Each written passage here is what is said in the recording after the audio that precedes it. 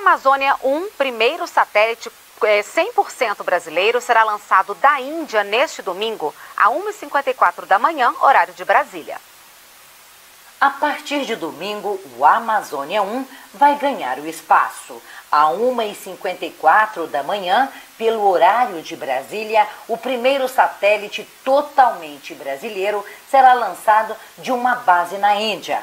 O equipamento tem 650 quilos e ficará a cerca de 700 quilômetros de altitude e vai monitorar todo o território do Brasil.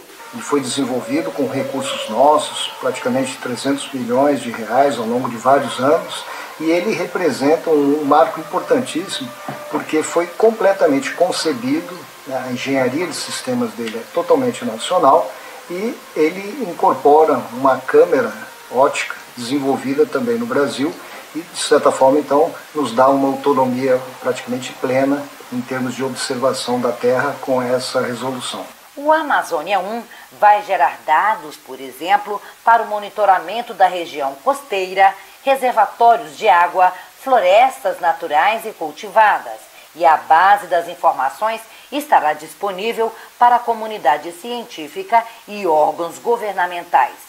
É um satélite que poderá ter múltiplas funções.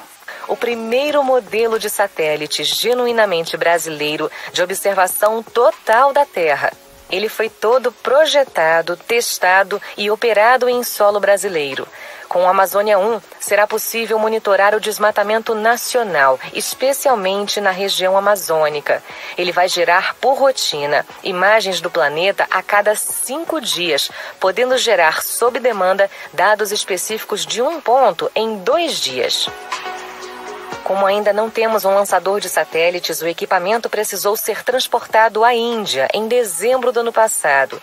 O satélite pesa pouco menos de 650 quilos, mas foram necessários 52 contêineres especiais para levar todos os módulos do Amazônia 1 com segurança, sem danificá-los.